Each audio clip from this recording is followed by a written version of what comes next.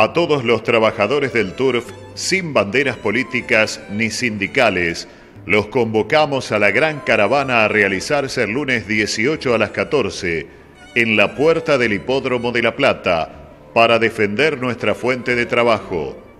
Nos dirigimos al Instituto de Lotería, Municipalidad de La Plata, luego a la Gobernación y finalizando en la legislatura provincial. Autoconvocados del TURF